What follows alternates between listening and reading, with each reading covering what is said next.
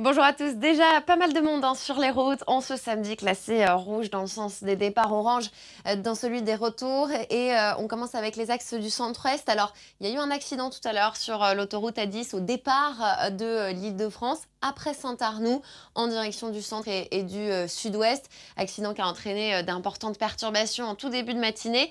L'accident est désormais terminé, ça devrait un peu mieux rouler. Mais voilà, sachez qu'en tout cas, entre l'île de France et Orléans, ça risque d'être assez chargé et ce tout au long de la journée. On regarde d'ailleurs les prévisions euh, pour euh, les prochaines heures, à savoir que le pic de trafic est attendu en fin de matinée, donc ça devrait quand même d'ici là continuer à bien charger à la fois sur la 10, sur la 71 en direction du Massif central. Et puis regardez aussi euh, dans les pays de la Loire, dans les deux sens de circulation entre Angers et Nantes, sur l'autoroute A11. On passe au, sud-ouest avec un petit peu de monde, ça y est, déjà à l'arrivée à Bordeaux. Sinon, dans l'ensemble, ça se passe bien.